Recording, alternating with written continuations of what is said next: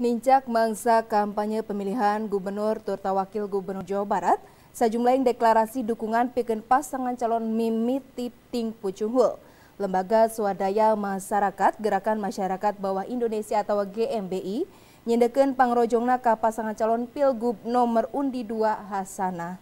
Et Ari kelompok masyarakat Laskar Merah Putih masrahkeun pangrojongna ka pasangan calon nomor undi tilu Sudrajat Tursaiku atau pasangan pasangan calon asik. Nincak mangsa kampanye pemilihan Gubernur Jawa Barat 2018, Pangrojong timang pirang elemen masyarakat pikeun pasangan calon Mimi Titing Pucung Hul. Salah jina pasangan calon TB Hasanuddin Katut Anton Charlian kalawan nomor undi 2 anu nampa pangrojong di Lembaga Swadaya Masyarakat Gerakan Masyarakat Bawah Indonesia atau GMBI. Salah saji LSM anu gede di Jawa Barat teh nyorang deklarasi pangrojong pikeun pasangan Hasanah anu dide ku Partai PDIP. Lianti di erong boga sikep tandes GMBI ngerong eta pasangan dua jenderal TNI Katut Polri teh pantes mimpin masyarakat Jabar jero lima tahun ke hareup. GMBI dari sekolah telah dengan sepakat untuk mendukung Hasanah nomor dua untuk menjadi adalah Jawa Barat. Artinya harus dia memimpin Jawa Barat.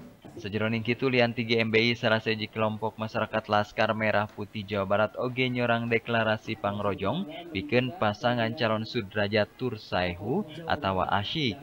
Eta pasangan kalawan nomor undi tilu teh di erong kaciratan dastur agamisna, numana eta paslon asik teh didedel ku dua partai gede eta Gerindra Turta PKS. Cek pasangan calon gubernur asik Sudrajat, kabeh dienakan rea deklarasi pangrojong di masyarakat. Dirina oge boga tekad bakal nyanya nampak amanah ti masyarakat anu geus ngarojong pihakna pikeun maju dina pilkada Jabar. Dengan ya, komitmen daripada Laskar Merah Putih ini luar biasa.